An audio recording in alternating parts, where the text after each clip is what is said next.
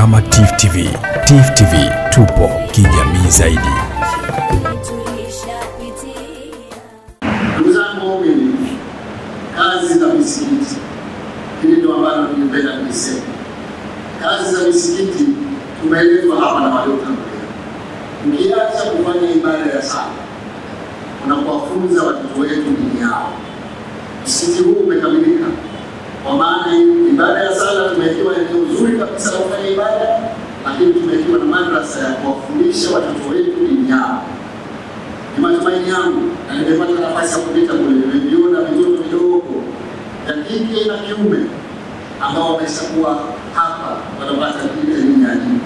Haya tunapaswa sote kwa ujumla wetu kuyaunga mkono, lakini ukiacha hilo ni kushughulikia masuala ya jamii katika eneo letu, kazi ambayo inafanywa na adui. Wanafanya kazi nzuri, wanawatizama mayatima, wanawatizama wajane, wanawatizama walemavu, alimradi mambo yote au jamii zote katika mtaa wao wanashughulikia. Sisi tuna wajibu wa kuunga mkono kwa kadri ya kila mtu Mwenyezi Mungu lakini wanafanya na huduma za jamii. Tumeelezwa kuhusu elimu hapa, kuhusu maji, tumeelezwa kuhusu mambo kadha wa kadha. Kwa hivyo nashukuru kwamba hatujengewi misikiti ikabaki ni sehemu ya kuja kusali peke yake.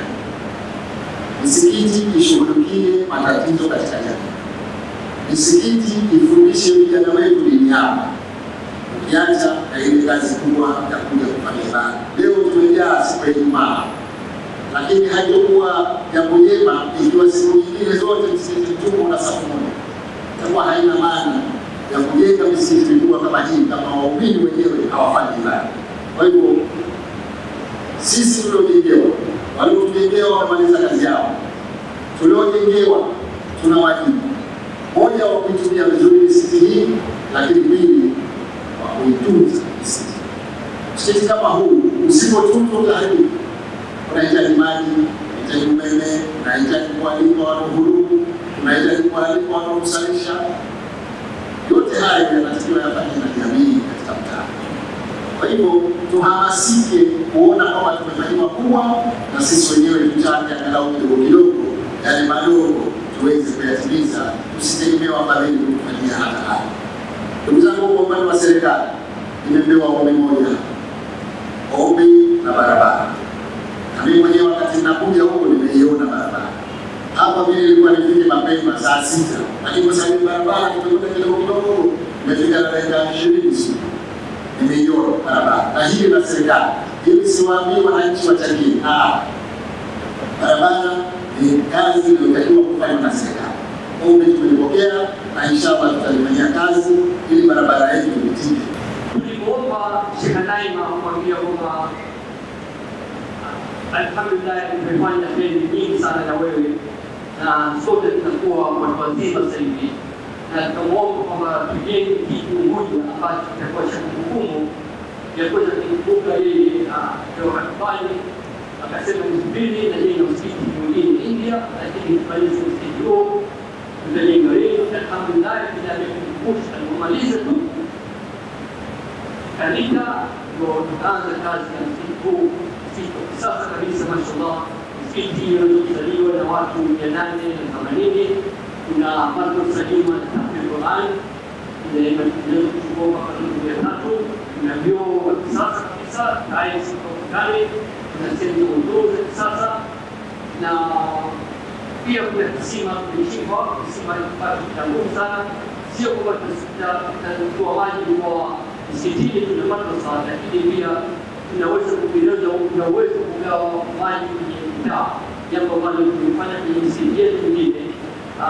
Mfano msikiti kimoja Tauhid ambao una kisima una- unatoa maji, umeunganishwa maji kwa zaidi ya nyumba themanini na kila nyumba wamechanga nyumba kumi wamechanga moja, wameweka umeme na maji kwenye nyumba moja, wanakuwa wanachangiana kuliko umeme eh, na ukiangalia kwamba nyumba tumaini na kila nyumba wanashirikiana kikumi inafikia nyumba mia nane na Kizanzibari nyumba zimekaa vile, kila nyumba inaishi kwa ndugu. Kwa hivyo maji yanasaidia zaidi ya watu elfu nane mbali jamii ya msikiti.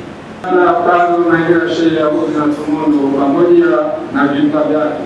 Napenda kuchukua fursa hii kurudia kukushukuru tena Mheshimiwa Rais kwa kufika kwako hapa leo hii na kupata fursa ya kuungana nawe katika ufunguzi wa msikiti wetu huu pamoja na madrasa. Aidha, tunamshukuru Sayyid Sheikh Muhammad bin Saud bin Sultan Al-Qasimi kwa niaba ya Sayyida Sheikha Naima bin binti Sultan Al-Qasimi kwa kufadhili ujenzi wa msikiti huu na madrasa yetu. Allah awazidishe kila la heri duniani na Baada ya kusema hayo, sasa napenda nitamke kwamba msikiti wetu huu wa Naima binti Muhammad Al-Qasimi leo umefunguliwa rasmi